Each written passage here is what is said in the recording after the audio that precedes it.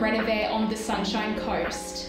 If you're thinking about taking on a bathroom renovation and are considering doing an open shower, one of the questions that may be on your mind is Am I going to get water everywhere? The answer to that is yes, you most definitely are. However, it is so easy to be able to keep your shower and your floor nice and dry when you do have an open shower.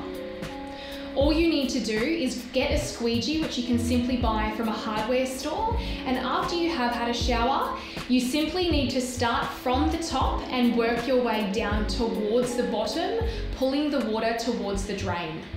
You can complete this on the floor as well and pull all of the water back towards the drain, which will then ensure that you don't have any water sitting on your shower. And it will also make sure that the cleaning process when it comes to scrubbing your shower is nice and easy as well.